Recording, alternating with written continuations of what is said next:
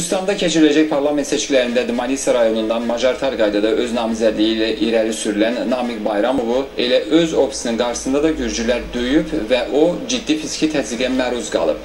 Namizədin sözlərinə görə ofisə daxil olan şəxslər seçkilərdə ona səs vermələri qarşılığında pul tələb ediblər.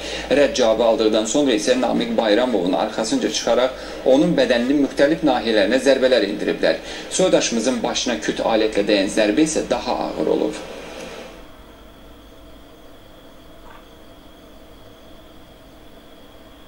Mən dövlətimin demokratik, şəffaf seçkilər keçirəcəyinə əminəm və demokratik dövlət olmağına əminəm. Və bu cür təxribatçılar ki, dövlətdə bu təxribatı yaradırlar, mən əminəm ki, dövlətim buna qarşı ölçülər götürəcək və eyni zamanda bu işdə əli olan hər bir kəsi öz cəzasını verəcək.